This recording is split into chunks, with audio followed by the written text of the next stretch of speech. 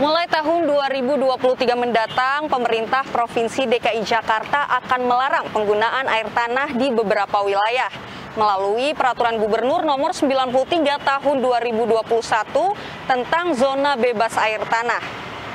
Dalam peraturan tersebut, Gubernur DKI Jakarta Anies Baswedan melarang para pemilik bangunan untuk memanfaatkan air tanah mulai tanggal 1 Agustus tahun 2023 terdapat sebanyak 12 area jalan dan juga 9 wilayah yang menjadi zona bebas air tanah di DKI Jakarta.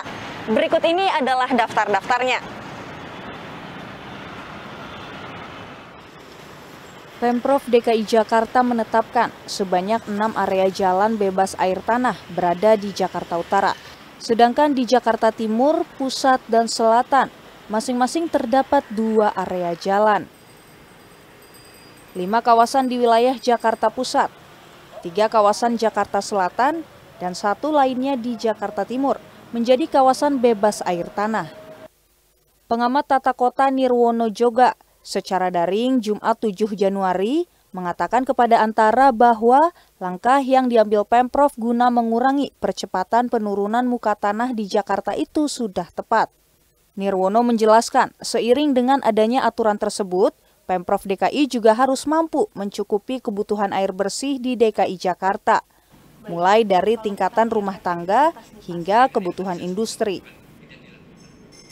Tingkat rumah tangga memang paling besar, tapi kemampuan untuk menyerap airnya kan juga lebih sedikit kedalamannya. Ya, rata-rata pompa air ini kalau rumah tangga tidak lebih dari 20 25 meter dalam tanah. Sementara kalau kita bicara gedung perkantoran sampai industri itu kan bisa sampai dengan 100 meter kedalamannya. Jadi dilakukan pentahapan, kawasan industri, gedung-gedung perkantoran, baru tingkat rumah tangga. Tetapi, yang tadi saya katakan, ini tidak akan mungkin terwujud kalau Pemprov DKI sendiri tidak mampu mencukupi kebutuhan mereka. Ia menambahkan, masyarakat juga perlu mendukung aturan itu melalui penggunaan air yang bijak serta menerapkan gaya hidup hemat air. Dari Jakarta, Putri Hanifah, Erlangga Bregas Prakoso, Kantor Berita Antara, mewartakan.